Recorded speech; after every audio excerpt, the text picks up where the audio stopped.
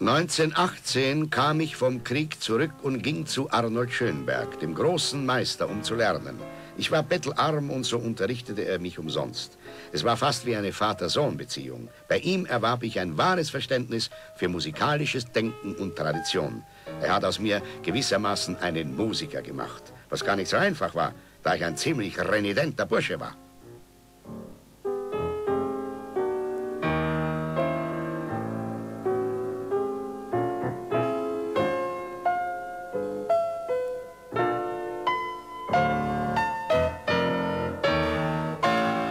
Im Zusammenhang mit Schönberg wird gesprochen von seinen zwei großen Schülern, Webern und Albert Berg.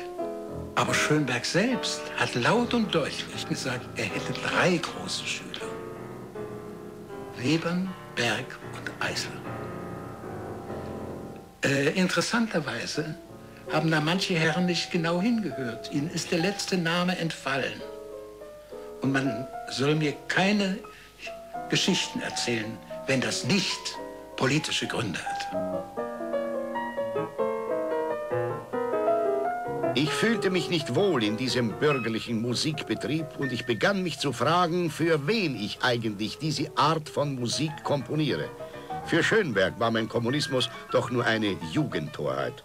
Ich verachtete sein Spießbürgertum und habe am Ende mit ihm gebrochen.